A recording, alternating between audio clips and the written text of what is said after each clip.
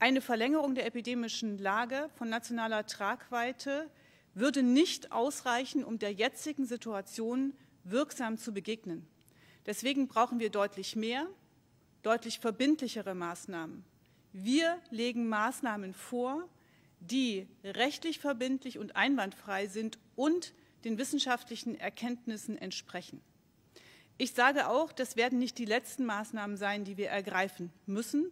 Der Schutzwall muss ständig erneuert und weitergebaut werden. Es geht darum, dass wir selbstverständlich so etwas vorsehen wie Maskenpflicht, Hygienemaßnahmen, Einschränkungen bei Veranstaltungen im öffentlichen Bereich.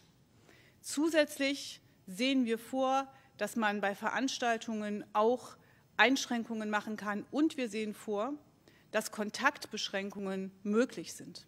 Wir alle wissen aus der Vergangenheit, Kontaktreduzierung ist das A und O, solange nicht genügend Menschen geimpft sind.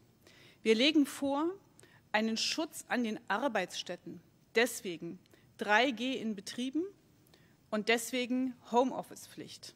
Wir müssen keine Läden schließen, das sagen uns auch die Virologen, und wir müssen auch keine Restaurants schließen, es sei denn, sie können nicht genügend Platz mit entsprechenden Hygienekonzepten zur Verfügung stellen.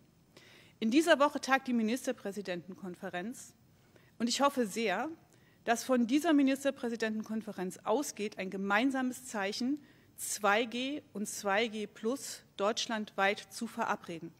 Diese Möglichkeit schaffen wir im Gesetz. Diese Möglichkeit haben die Ministerpräsidentinnen und Ministerpräsidenten. Sie sollten sie auch ergreifen.